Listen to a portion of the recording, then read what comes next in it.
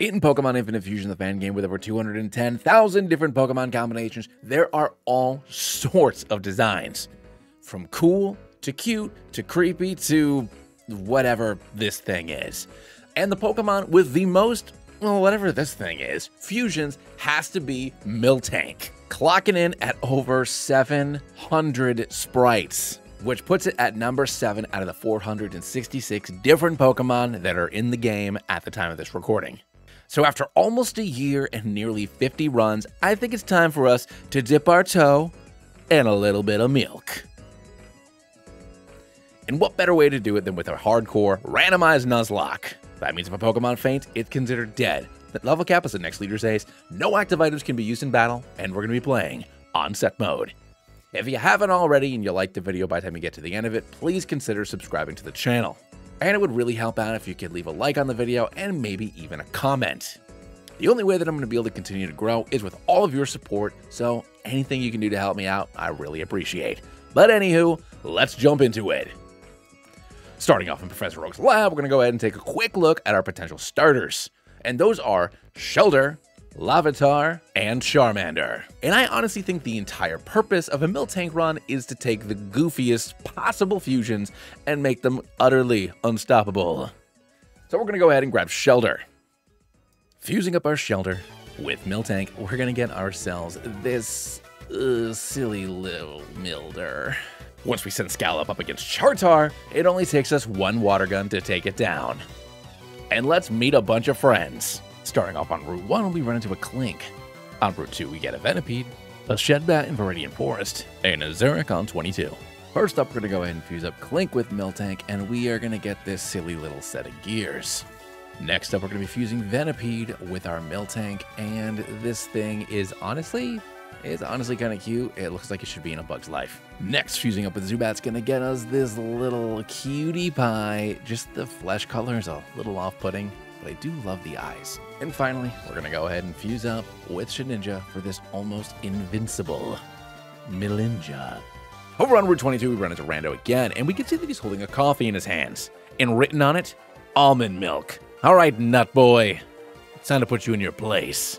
Muju style. Going for a stomp, we bring it down into the red and manage to get the flinch, so on the following turn we can safely get the KO. When his starter comes in, we go for the same thing, and two more stomps, stomp out, this nut, we're going to grab ourselves a Voltorb in the Secret Garden. And when we fuse up, we are going to get this hilarious little Milorb. Now it's time for us to face off against Brock and his bug Pokemon. He starts things off with a Venipede, and I send in Flick. Going for a defense curl, it gets disabled by the Venipede. But it's already done exactly what we needed to as we start rolling out. And after two stacks of that, we take the Venipede safely down. When Yagmoke comes in, it only takes one more shot for the KO and our Boulder Badge.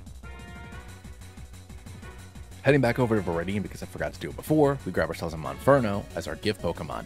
Then we grab ourselves a Goomy over on Route 3. Oh, and then our Magikarp was randomized into a Magikarp. Fusing up Goomy with one of our Miltanks, we're gonna get this silly little Milmy. Outside of Mount Moon, we run into Nurse Joy tending to this wounded Geodude. Before Brock can rush over, we go ahead and give it a glass of milk. And as Brock approaches, the Geodude looks up from his glass with a huge milk mustache. And then he goes, Got milk? And we've had a Remoraid inside of Mount Moon. At the back of Mount Moon, we run into Team Rocket, who's attempting a triple fusion. And we know it's a bad idea because Team Rocket's doing it. We launch from our hands a cup of whole milk smashing into their machine, short circuiting it, and the entire thing explodes. And Team Rocket blasts off again. On Route 4, we find ourselves a Fletchling. Before facing off against Rando on Nugget Bridge, we are going to fuse up our Fletchling for this cute little Maling. Next up, fusing Magikarp with Miltank gets us this guy. Then while leveling up a bit, our Milling is going to go ahead and evolve, and this time it's a lot more excited to be holding that cheese and then Milcarp's going to go ahead and evolve into Mildos. We run into Rando again over on Nugget Bridge, where he's clenching his stomach. He appears to be in some sort of pain. He explains to us that cow milk is not part of his culture, but.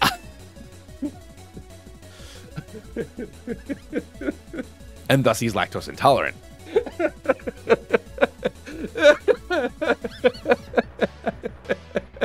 I can't say this. I tell him.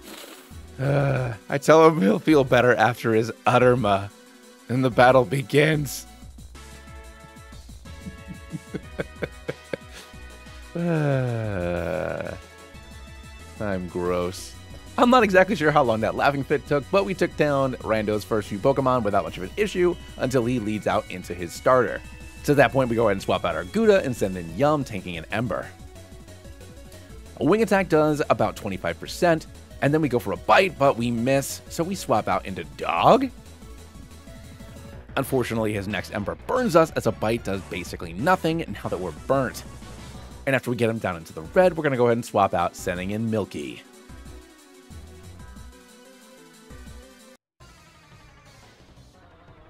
Over on Route 24, we find a Riolu. After evolving Riolu, we're going to go ahead and fuse it up. And this guy is just got like the biggest ice cream cone you've ever seen. While getting ready to face off against Misty, our Yum is going to go ahead and evolve into a Milbat. Lick's also going to go ahead and evolve, waking up a little bit, standing up, and proclaiming, I am World Tank. Misty's been randomized into a water Pokemon, and that doesn't seem very random, but her first Pokemon out is Abduck. We have Gouda go for a Spark, grabbing the Oko. Once Selenite comes in next, we go for another Spark, bringing it down to about a third. And on the following turn, she doesn't even bother healing up, but we also don't KO it because of the Charm. And after she heals up, we go for a handful of other hits, and then we take it down, defeating Misty. we find ourselves a Carvanha on Route 5, a Ledyba over on Route 6, a Meowth over on Route 11, and a Budew in Diglett's Cave. We go and beat this guy up again for another fossil. Over on the S.S. Anne, we run into Rando again. And hold on a second, what's that he's eating? Gelato! He should be eating full cream ice cream. Rando starts off by sending in a Ralpunny, and we send in our Vanilla. And the funny thing is, this sprite actually looks like it has kind of a stomach ache. But after going for a Metal Claw, we decide to switch things up and go for a Swords Dance.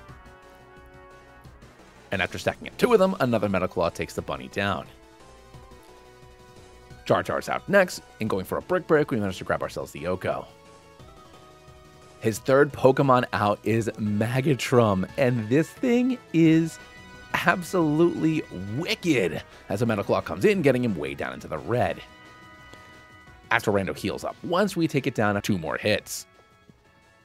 His final Pokemon Sunrail comes in, and a Brick Break brings him way down into the red as he goes ahead and sets up a Leech Seed. But with one more smack of the fist, we take him out. And Rando, you better be eating ice cream next time I see you. Lieutenant Surge has been randomized into a Dragon Trainer on this run, and he starts things off by sending in his Axparse. I legitimately forgot that Dunsparce was in this game. But of course it is. It's a Gen 2 Pokemon. Why wouldn't it be? Anywho, after setting up three Swords Dances, we go ahead and go for a Brick Break, grabbing the KO. Palatini comes in next, and it's another just like little long boy. But anywho, Brick Break, done. His final Pokemon is Dragaflora, and it goes for a Twister doing a decent amount of damage, popping our berry, but only one hit from us is more than enough to earn our Thunder Badge. Alright, cool. So we find ourselves a Duskull over on 9. We find ourselves an Elekid over on Route 10. We find ourselves a Houndour and Rock Tunnel. Our Honedge is randomized into a Charmander. We got a Nidoran female over on 8. A Pseudo Widow over on 7. A Palossand in the game corner. A Drowzee over on 16. We're going to go ahead and fuse Palossand up with Miltank, and we are going to get our silly little barn. And I love that this thing only has one weakness. While getting ready to face off against Giovanni, our Gouda goes ahead and evolves into Melode, which is an old favorite of mine from a very, very early run. Over in Pokemon Tower, we run into Rando yet again, where we see him eating an entire wheel of cheese. That's more like it, Rando, but we still have to have a Pokemon battle. Rhyreno comes in first up against our Barn. Going for a Bulldoze, we manage to take it down in just one hit. Milosaur is out next, going for the Seismic Toss. We take it just above half, as another one brings him way down into the red. And as Rando goes through both of his potions, we just keep on spamming Seismic Toss and drinking our milk until eventually we take it down. Chartar comes in next, and two Bulldozes take it out, which leads into his final Pokemon, Duochow, who it only takes one hit from. After our battle, we run into this old guy who's being harassed by Team Rocket. I see how easily they drag him up the stairs. If only he had consumed more calcium throughout his lifetime, he wouldn't be suffering from osteoporosis now, and he would have been able to free himself. But alas, there's nothing we can do here. Alrighty then, right before facing off against Giovanni, our Smoke Cheddar is going to go ahead and evolve into Millflame. After fighting our way through Team Rocket's secret base, we run into Giovanni. I'm not 100% sure what's going on here since they blew up their triple fusion machine, but I do see that he is consuming a glass of water. And what the hell is that? He starts off by sending in a Blasby, and we send in our Vanilla. Scared of a fire move, we go ahead and swap out, sending in our Barn as he goes for a Flame Charge. On the next turn, we set up a Sand Tomb as he bulks up. Another Flame Charge does a little bit more damage, and we come in with a Bulldoze, taking him just below half. And after he activates our Berry, a Seismic Toss brings him way down into the red, where the Sand Tomb can pick up the KO. Out next is Mervile, so we're going to swap out and send Vanilla back in. Falling for the taunt, I realize that I made an absolutely grave error. Until I remember this thing is dark, not flying, and a Brick Break takes care of it quickly enough. His final Pokemon Chat turn comes in, and sends it to Rock. It only takes us two more hits to take it down, defeating Giovanni. And we hand him a glass of the white stuff. And now it's time for us to take on Erika and her ghost Pokemon. She starts things off by sending in a Mimidos, and I send in Dog. After breaking its disguise, we go for an Aqua Tail, taking it down to about 50%. On the following turn, we take it way down to the red as Erika goes ahead and heals up with a Hyper Potion. And now that our attack's been lowered a few times with Charm, we swap out, sending in Vanilla. After going for three swords dances, we eventually connect with the Zen Headbutt, grabbing ourselves the KO. Fahrenheit's out next, and I absolutely love this sprite, and his Zen Headbutt isn't quite enough to take it down. After getting frozen solid, seriously, what are the odds I swap into Gouda? Who goes for a spark, managing to get the paralysis, but we're knocked down below half, activating our berry. But on the following turn, we take it out. Her final Pokemon Edge comes in, and we go for a spark before we get slammed down to just 45 HP. Swapping out again into Dog, it only takes us a couple more turns to take down the Edge and secure our Rainbow Badge. On our way over to Fuchsia City, we're going to grab ourselves a Ferroseed, a Munchlax, a Shieldon for a pinch. In Fuchsia City, it's time for us to take on Koga and his ghost Pokemon. Seems to be a running theme here in Kanto. He starts off with Docile, and we send in Vanilla. After going for a couple of swords dances and getting burned and smacking ourselves in the face, we eventually break free for the Oko. When Probo Noir comes in, we take it down to about half after the first hit as he sets up a sandstorm. Which doesn't hurt us, but it does hurt him. Anyway, it puts him down low enough for the another Shadow Claw to take it out. When Gastly comes in, one hit's all it tanks, and he's sending in his Duskhape as his final Pokemon. And this is where I make a fatal error. I don't consider the fact that Koga hasn't used either of his potions yet, and I get taken out by my burn for the first loss of our run. Sending in Smoke Cheddar, I can clean things up quickly enough, and we earn our Soul Badge. Alrighty, first things first, we're gonna go ahead and fuse up Miltank with Charmander to get ourselves Chartank. Chartank's then Chartank is then gonna go ahead and evolve into Chartank. But don't worry, everybody, it's gonna evolve one more time again into Chartank. While fighting our way through Silph Co, Yama's gonna go ahead and evolve into its final form, Milbat. Our Lapras was randomized into a Machamp. After serving everybody in Silph Co ice cream, we run into Rando, who's upset that we haven't given him his pint yet. Finally, my boys overcome his lactose intolerance. We celebrate together the only way we know how by dueling our monsters and chugging back gallons of milk. Dewdra comes in first just to remind me that Dunsparce does indeed exist, and I send in Yum. A cross poison does an okay amount of damage as he goes for a double edge, slamming us down to about half. Swapping in the noodle, there's not a whole lot Rando can do here, so he just goes ahead and glares us, and then can't do anything until we take it out after a couple of body slams. Char's out next, and I absolutely hate doing this. I almost never use Shedinja fusions, but when you can utterly devastate your opponent, you might as well go for it. And by the way, this Magnezine fusion is absolutely awesome. And Pori Trio is super cool too. But once he uses Lock on, I'm super scared, so I go ahead and swap out, sending in Barn.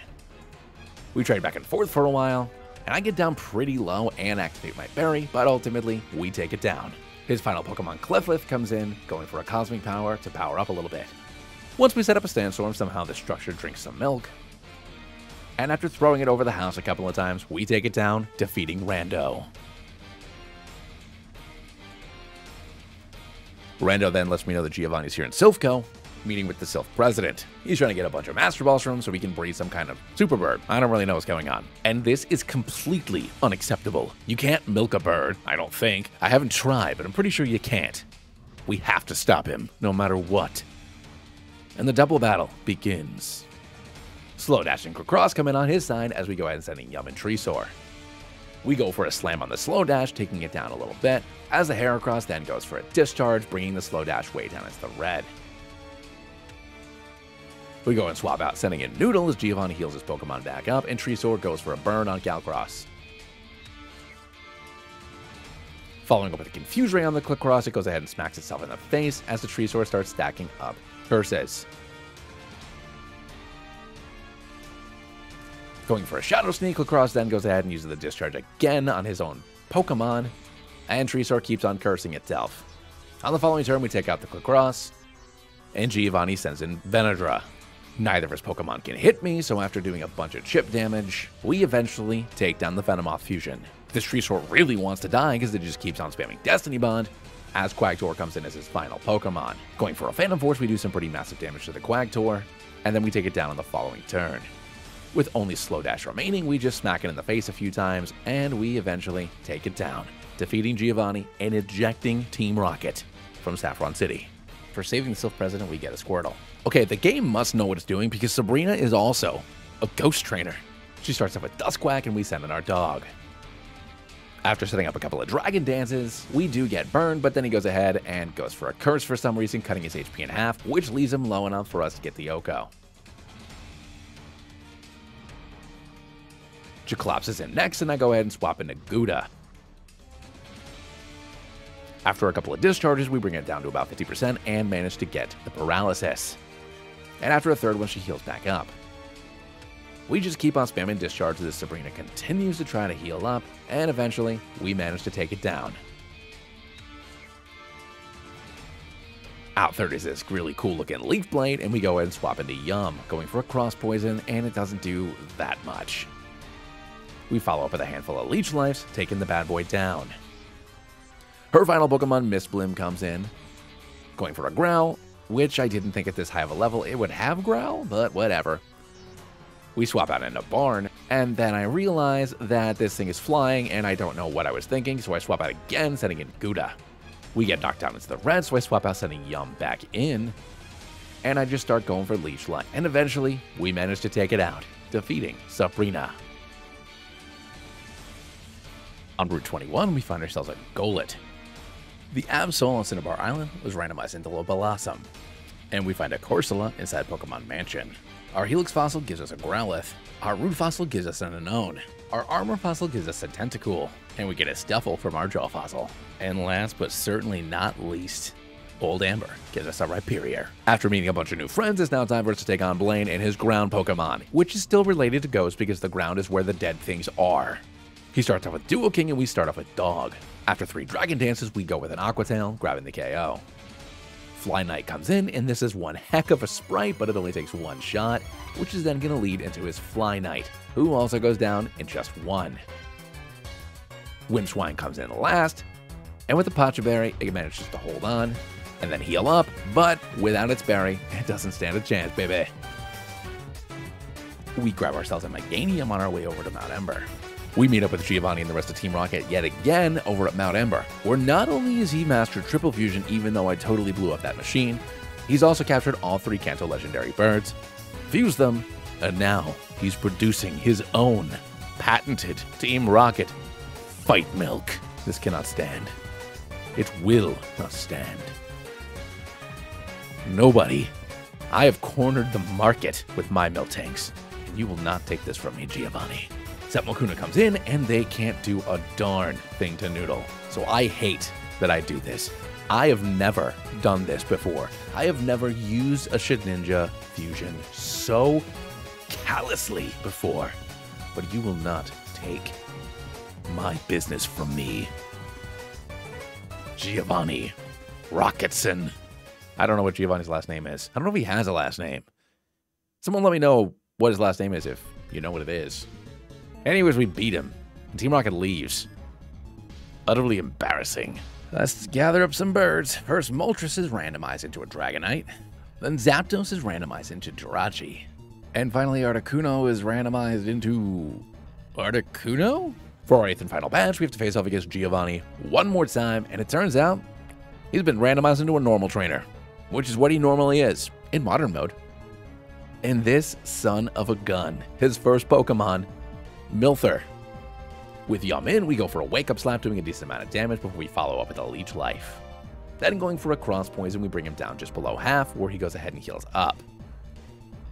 Swapping out into Charge Tank, he heals up again as we go for a Flamethrower, and a Wake Up Slap does in a massive amount of damage to us. Realizing that this thing is flying and not bug, we swap out, sending in our Gouda, who takes a huge hit before Discharge gets the KO. Next up is Pertops, and going for a discharge, we bring it way down into the red, as an assurance activates our berry. And second discharge gets the KO. Regigigas comes in next, and we swap out, sending Char Tank back in, going for a flamethrower, bringing it down pretty low on the first turn, as he goes ahead and swaps out, sending in another Miltank fusion. Are you for real, Giovanni? We swap Miltank out, sending Gouda back in, who gets slapped really hard, and a discharge brings him down pretty low as another slap brings us to just 21 HP. But I know my Gouda's faster than this Toad, and we take it down. This little noodle mess is back in, so we switch back out into Char Tank, who can tank a Zen Headbutt, go for a Flamethrower, and grab the KO. Kyogre comes in as his final Pokemon, so we're going to swap out, sending in our Barn, and an Origin Pulse slams us for nearly 50%, but it does up our defense for what that's worth. Another Origin Pulse brings us down to just 42 HP as our Berry heals us up and we trap this thing in a Sand Tomb. For some reason it goes for an Ice Beam, and this allows us to use Milk Drink to heal back up a little bit. Not exactly sure why he switched over to Ice Beam when he could have definitely KO'd us with another Origin Pulse, but after a bunch of Seismic tosses, we take the bad boy down, and we've earned our 8th badge. On Victory Road, we grab ourselves a Zuyum, and Entei is randomized into Latias. When crafting our final team, first we're going to take a Bewear, and we're going to fuse it up with Miltank. And the result is absolutely adorable. I love Bewear's fusions. Next up, we're going to go ahead and fuse up with Hydreigon, and this is just utterly horrifying. And with Blastoise, you all know the drill. This isn't the first time we've used it. It won't be the last time we use Blast Tank. And finally, rounding out the group with Jirachi.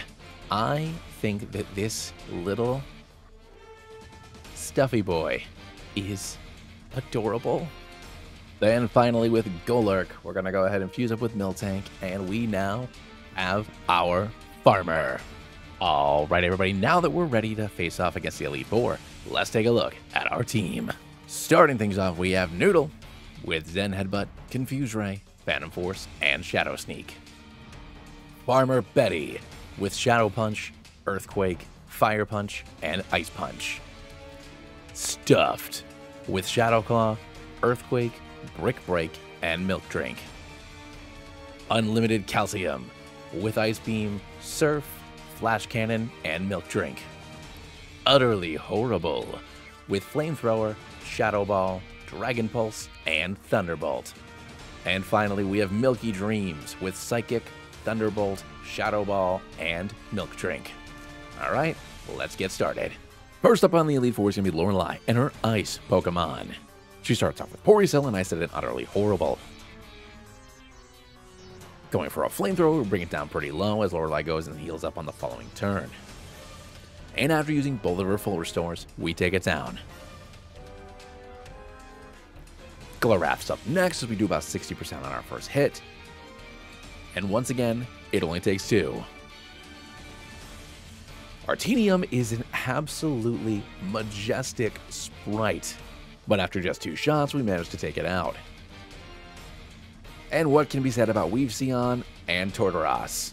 Well, it also only took two hits for each of them as well. And we're moving on to Bruno, who's been randomized into a Dragon-type trainer. Hey, maybe he won't stink this time. He starts off with Gorluff, and we send in Milky Dreams. A Thunderbolt does a lot less than I expected it to, and following up with a Psychic, we grab a crit, getting it way down into the red. I swap it into Noodle so I can avoid the dig. And after Bruno heals up, I go for the Confusion. And after a couple of Phantom Forces, we take it out. Dragowile's out next, so we swap out into Unlimited Calcium. And after taking two pretty decent hits, we get it down just below 50%, and he swaps out into Venusaur, who gets knocked down after just two smacks. When Sceptile comes in, an Ice Beam does basically nothing as his Zen Headbutt hits us down low enough to activate our Berry. We then swap in a Farmer Betty, going for an Earthquake, bringing him down to about a third, and this thing is super chunky. I know it's a Zekrom, but it's also a Totodile. And huge Wild comes back in after we grab the KO, and an Earthquake gets it super low as we're Dragon-tailed out, setting in Milky Dreams, who can then clean up. Pertrum's his final Pokemon, and this thing is so goofy. And after three attacks, we manage to grab the KO, and we're moving on to Agatha. Agatha's been randomized into a Poison type trainer, which is actually her modern mode typing. And to be honest, her normal typing also basically. She starts off with Slycruel, and we send in Stuffed, where one crit Earthquake is enough for the OHKO. Crotoon's up next, which we get down pretty low with an Earthquake, as Agatha decides to use both of her full restores before ultimately swapping out, sending in Girakuna. And after just two smacks, we take down the Demon Cocoon. Crotoon comes out just to get taken down, and this leads into Muffion. A Gunk Shot brings us down pretty low, activating our Berry, and we need to swap out, so we do into Farmer Betty. And while the Gunk Shot doesn't do that much damage to Farmer Betty, it does manage to get the poison off. And after taking another hit and activating our Berry, she withdraws, sending in Klefbok. Swapping out again, sending in Utterly Horrible, it starts stacking minimizes, and then slaps us with its non-existent hands. Eventually, we connect with a couple of flamethrowers and manage to get the burn off so we can safely take it down. Muffion then comes back in just to get taken out, and we defeat Agatha.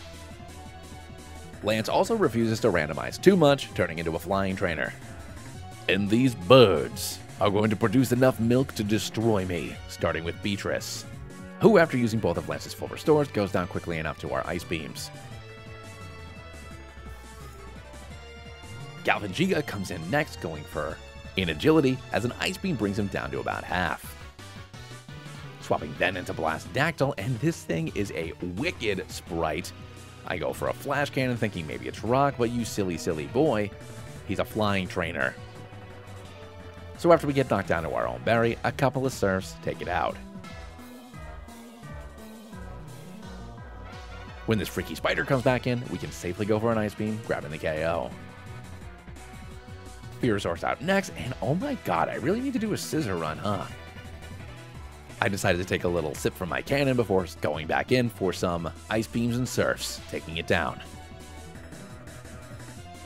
Arcados comes in last, and we swap out into Farmer Betty, taking a Fire Fang. After punching it in the face, we swap out into Milky Dreams, where it managed to get the burn off on us, activating our berry, and we get him down to basically nothing.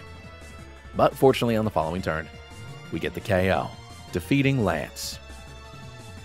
We enter the Champion's Chamber where I think Rando might have gotten a little out of hand. I see him playing Edward 40 Hands with himself, but instead of a 40 ounce of malt liquor, is two half gallons of milk. His shirt open, Got exposed.